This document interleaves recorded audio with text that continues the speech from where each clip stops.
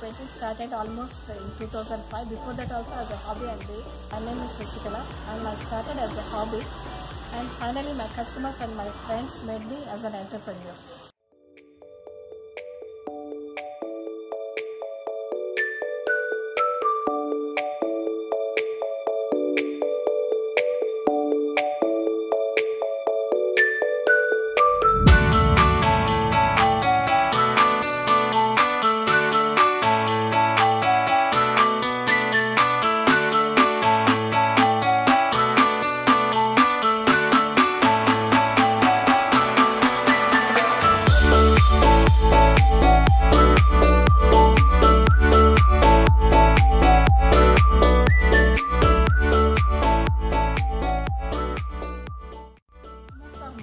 Main guiders.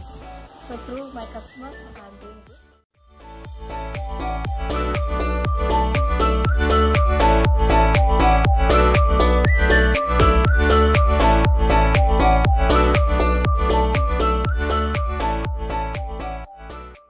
I am giving training to many students and uh, there are so many students continuing with this fabric painting and main goal is to make many students as an entrepreneurs.